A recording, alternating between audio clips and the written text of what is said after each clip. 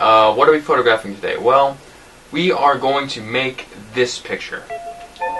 Now, you don't need any type of photo editing program at all. You just need your camera, any camera, and your computer monitor. Now, that's that's it.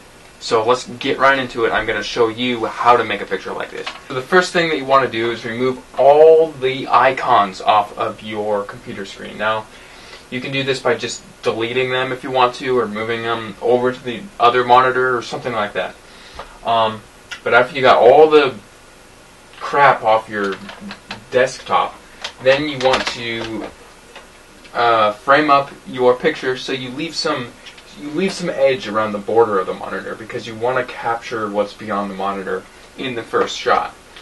So you're going to put your hand in front of your uh, computer screen just like so.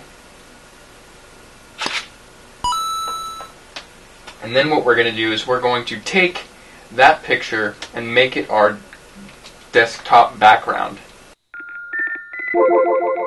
After we got that set done, you want to take your card out of your computer or your card reader or whatever, put it back into your camera.